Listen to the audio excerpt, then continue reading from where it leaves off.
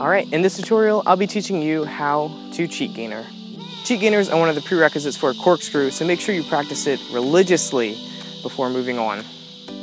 Also, having a strong back tuck will help, but it's not really necessary. Alright, now knowing that, let's get on with the tutorial.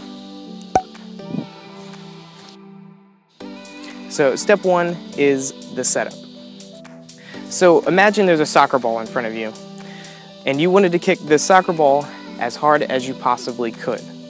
So whichever foot you'd use, which is, I'd use my right, is your swing leg. So knowing that, if your right leg's your swing leg, you'd start with your opposite leg in front, which for me is my left leg.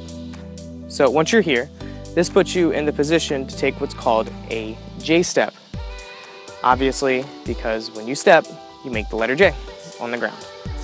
So all you do from this position is take a step forward and pivot, and then take a big step to the side and keep your arms back. And this will set you up for step two, the swing. So now your arm should be back along with your swinging leg.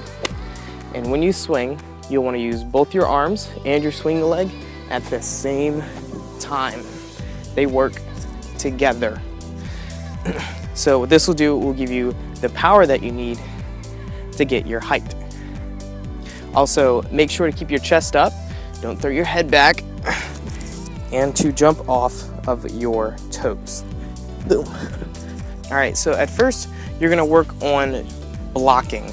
So what blocking is, whenever you step, you'll turn your foot sideways, and what that does is it stops your forward momentum and you can send it straight up. So work on that at first. So run up, block, and swing, just like that. So once you start to get a feel for the swinging motion in general, you can start taking it and swinging over the side.